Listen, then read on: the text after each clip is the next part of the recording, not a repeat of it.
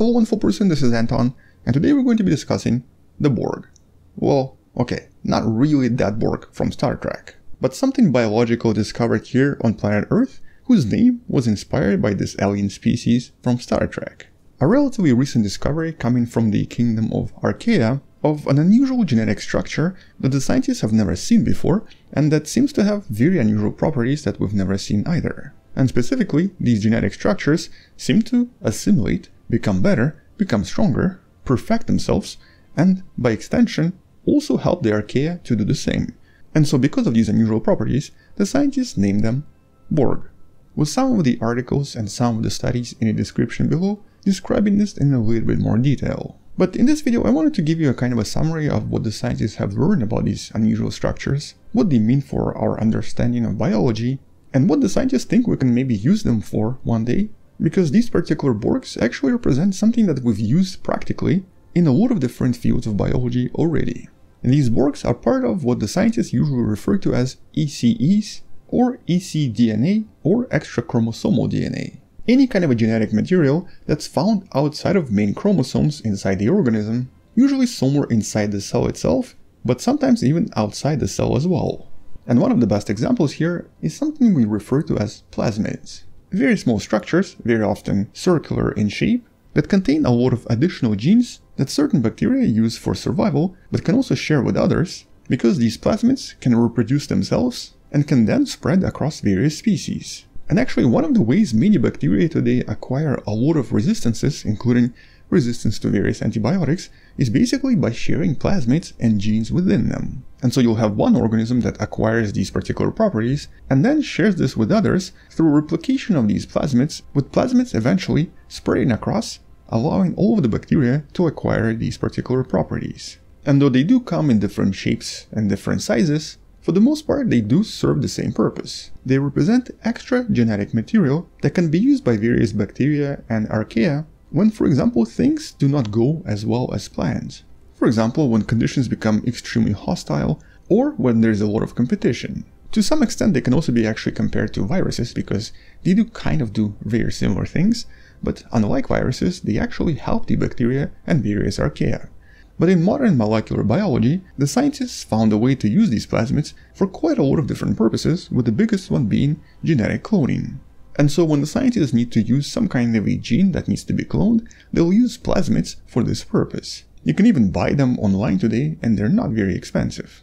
But plasmids is something that's mostly used by bacteria or prokaryotes. But we also have this other kingdom that's generally not seen as bacteria anymore, known as archaea. And because archaea generally lives in a lot more extreme conditions and is not as well studied, we don't really know exactly what they use for similar purposes. Some of them have been discovered to have similar versions of plasmids, but because these are different organisms, they obviously have very different ways to survive the environment. And because archaea, as I mentioned, lives in extreme conditions, they obviously have to find extreme ways to adapt and very quickly which of course implies that maybe their versions of plasmids would be super super complex. And looks like this particular assumption is kind of correct, because not so long ago, the scientists discovered something very unique inside these somewhat unusual archaea. The archaea that only live in conditions where there is a lot of methane. These are actually known as methanoperedens. Or basically, these particular archaea rely on methane for survival. But since these are ancient organisms that probably existed on the planet for billions of years, Today the scientists believe that back then, back in the days, when the Earth was still young, they might have actually been some of the first, if not the only life on the planet. And since on the early Earth we believe there was quite a lot of methane, which is also something we believe exists on a lot of other planets and even moons out there, including of course the iconic moon Titan, where there's probably quite a lot of methane hidden underneath, trying to learn more about these organisms that survive on methane is also important for a lot of studies of astrobiology. But in this case, when studying this bacterium, the scientists discovered something unusual floating around in a cell outside of the main chromosomes. Something that seemed to be huge in size compared to any other plasmid, and represented about 600,000 up to 1 million DNA base pairs, basically being one third of the total length of the main chromosome of each of these microbes. So much much bigger than any plasmid we've ever seen, and almost as big as the DNA of the organism itself. But more importantly, the reason it's called Borg is because it seems to be constantly growing, constantly improving, becoming more complex, absorbing more genes, and are basically creating some kind of a genetic repository for a lot of additional genes some of these archaea can use if they need to. And that's basically their main purpose. They're not really in possession of essential genes that are needed for, for example, reproduction, but they do possess additional genes that are required for survival when conditions become much worse or when things become a little bit less hospitable. And since a lot of these bacteria are extremophiles, living in very extreme conditions, they obviously need to keep track of a lot of different survival tricks in order to be able to adapt to various conditions when things suddenly deteriorate. Which is most likely how they were able to survive for billions and billions of years, even though Earth itself no longer has methane-rich conditions as it did in the past when these archaea were probably everywhere. Now they only seem to survive in methane-rich conditions and actually quite likely exist inside our bodies as well. Because we do have quite a lot of methane generated inside our guts, chances are we might have something similar right now inside our own bodies. Since this is a relatively recent discovery, we obviously still don't really know. But what makes these archaea very interesting to the scientists is really the fact that they're so good at breaking down methane, which as you probably know is an extremely potent greenhouse gas as well. As a matter of fact, not so long ago, NASA released an interesting map showing us a lot of so-called methane super emitters on the planet, basically showing us all of the regions on the planet where a lot of methane is released for one reason or another. Usually it's agricultural in nature, but sometimes the actual source is not really well understood. For example, this right here is in Turkmenistan, and it seems to be in the middle of the desert. And so the scientists are always curious to find out if we can actually find an effective way to break down methane, especially at the source itself. For example, can we actually introduce something right here in order to reduce these emissions? Which is exactly one of the main reasons why the scientists went on a long search in different wetlands in California, trying to discover these particular archaea that they believed to exist there. But what they didn't expect was that they would have these unusual properties and these unusual Borgs that seem to help them in digesting and destroying methane.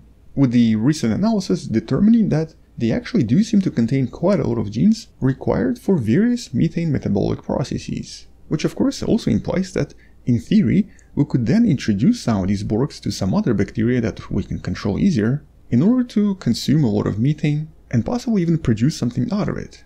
Although unlike plasmids, which are much smaller and much easier to control, these Borgs seem to be huge and so it's not really entirely clear if they can ever be used and successfully reproduced in typical lab conditions. And here the scientists also believe that these Borgs might have actually been their own separate organisms long time ago, but might have been actually absorbed by the bacteria and thus became a part of the organism with only DNA remaining in the process. But because these particular Borgs are so huge in size and seem to have assimilated a lot of genes from a lot of different species, the scientists also want to discover if there's actually association with other species as well.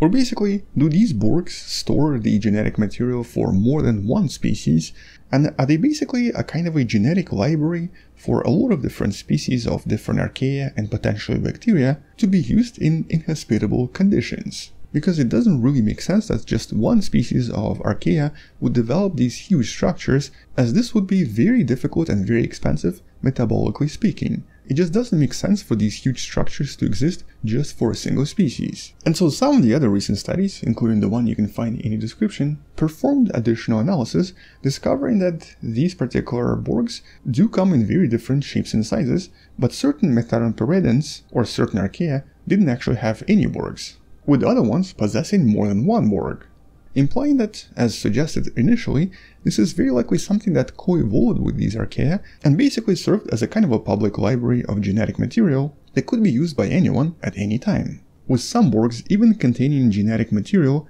encoding for proteins and membrane proteins that seem to have come from different species entirely, with some proteins even having unknown effects that the scientists could not figure out with the most recent study also discovering that there definitely seems to be a genetic advantage to having these Borgs than obviously not having them during certain times of the year. So for example, even though a lot of different species might consume methane, it's really only archaea that possess Borgs that were exceptionally good at growing and proliferating during times of the year when not a lot of methane is released, such as for example in early spring. And so during those particular periods of the year, the methanoperedens were still actually very successful at consuming methane, even though other bacteria or other archaea weren't.